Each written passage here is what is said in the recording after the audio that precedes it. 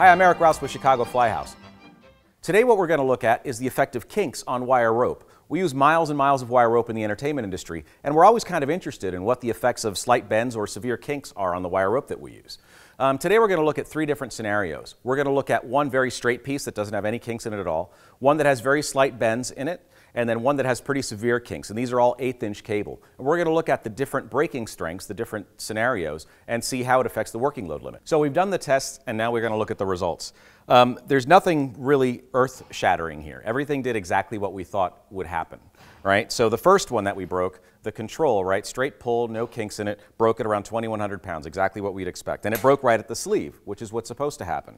Um, the next one was the one with the bends, slight bends, still broke at the sleeve, right? A little less capacity, we lost a few pounds, and uh, actually we got a little bird cage here, right? In the middle of the rope where one of the bends was. So kind of interesting.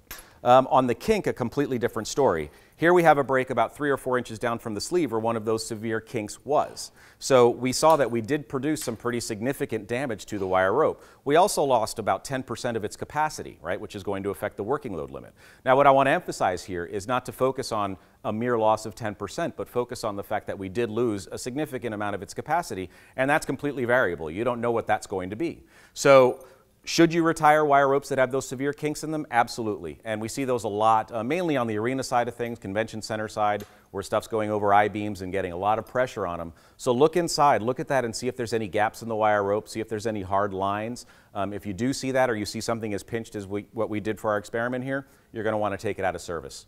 Well, that's it for today. Thanks a lot for watching. If you're interested, you could actually subscribe to our channels and get these videos more often. You could also send us ideas of stuff that you might want to see. So see you next time.